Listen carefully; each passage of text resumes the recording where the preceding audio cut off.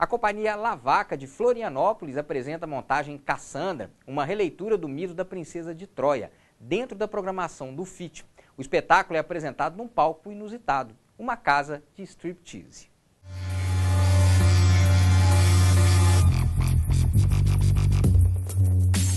O texto parte do mito da princesa de Troia, Cassandra, princesa de Troia, mas ele, ele é cheio de referências pop, desde ABBA a perna longa dentro da história da Guerra de Troia que ela conta.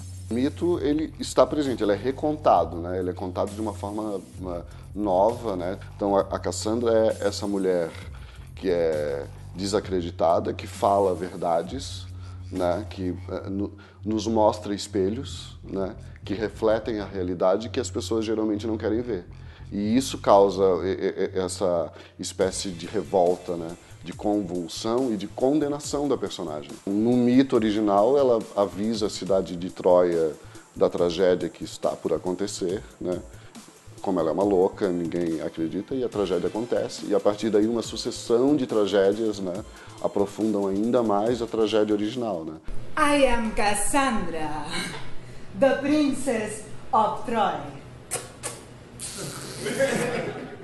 Cassandra é do Sergio Blanco, que é um dramaturgo franco-uruguaio. O autor escreveu o texto todo em inglês, com o inglês que ele tinha no momento que ele escreveu, um inglês de imigrante. Ele pede que seja encenado dessa maneira e pede que seja encenado em espaços não convencionais. No, no caso da montagem brasileira, dirigida pelo Renato Turnes, a, a escolha da, da, da encenação foi que ela fosse feita em casas de diversão adulta.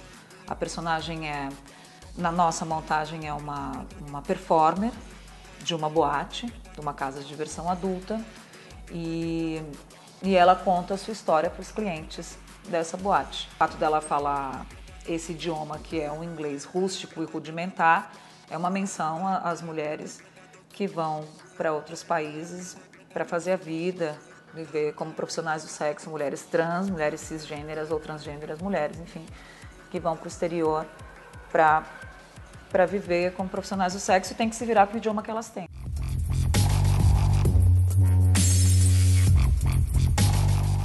Uma nova montagem sempre, né, porque os espaços são muito diversos em termos de, né, de espaço mesmo, arqu arquitetura, né?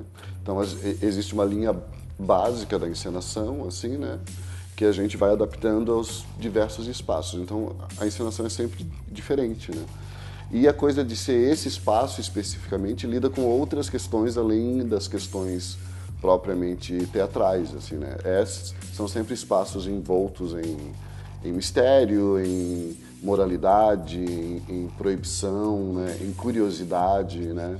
É, em erotismo, né? Thank you.